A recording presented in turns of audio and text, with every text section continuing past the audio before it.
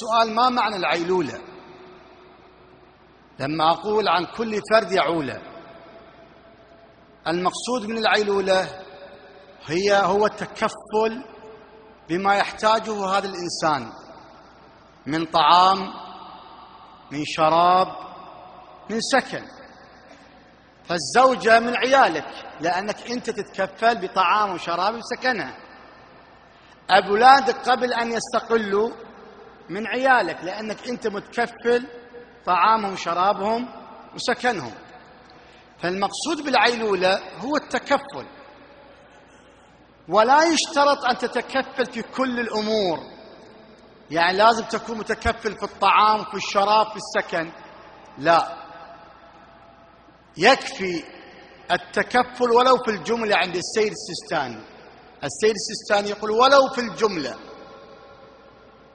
إذا تكفلت بالطعام فقط يقول هذا يعتبر من عيالك لو تكفلت بالسكن فقط يعتبر من ماذا؟ من عيالك خلنا ناخذ تطبيق. لو أن الأب بدل سكن لابنه أعطاه شقة مجانا مو على نحو الهبة لا وإنما على نحو الإباحة. قال له اسكن الشقة مجانا. والولد موظف يعمل ومستقل في طعامه وشرابه وشؤونه مستقل عن والده. فقط أنه جالس في الشقة مجانا من شقق والده. السؤال الفطرة على من تكون؟ هل على الأب أم على الولد أم عليهما معا؟ بعض الفقهاء يقولون لا على الولد. السيد السيستاني يقول لا على الاثنين. ليش؟ يقول لأن كل واحد موفر شيء من حاجات الولد المعيشية.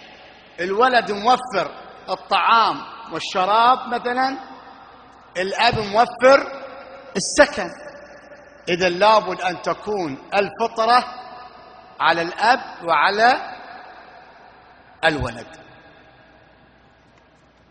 هذه مسألة مهمة جدا قد البعض يغفل عنها. وهذا ينطبق على أيضا افرض العامل إذا العامل ساكن عندك أنت ما توفر له طعام وشراب تعطيه فلوس هو يتكفل بروحه لكن ساكن عندك بالبيت إذا نفس الحكم. يعتبر من عيالك في الجملة. فيجب عليك أن تخرج زكاة الفطرة لكن هل يجب أن تخرج زكاة الفطرة كلها أو جزء منها؟ الجواب تخرج النسبة. أنت مو متكفل بكل المؤونة متكفل فقط ماذا؟ بالسكن. فلو فرضنا أن السكن يشكل ثلث الحاجة إذا أنت عليك ثلث الفطرة طبعا تشخيص هذا صعب.